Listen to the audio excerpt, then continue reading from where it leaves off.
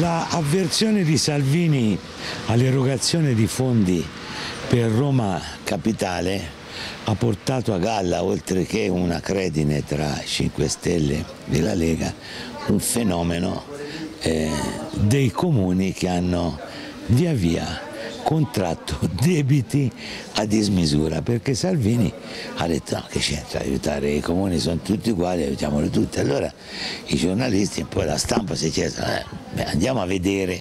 E la Nazione ha pubblicato questa tabella che è estremamente interessante con la classifica dei debiti dei comuni.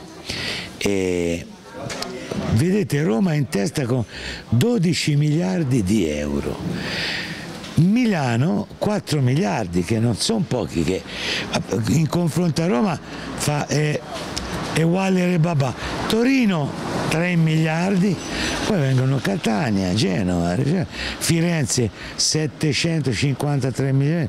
Venezia, la mia domanda è questa.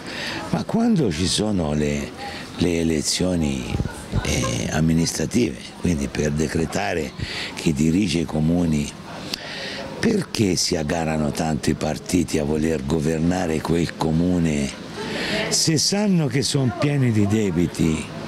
Forse per aumentare questi debiti, perché il dubbio mi viene, quando nella vita normale non c'è il boconghiotto, come si dice, quando non c'è trippa per gatti, l'affare non si fa, la camicia, il cappotto non si compra, le scarpe si rimandano, la macchina si tiene quella vecchia, perché non c'è l'affare. È come se uno cambiasse la macchina e ne compra una fusa e la gola gli fa i tompi per cui ha quella fusa.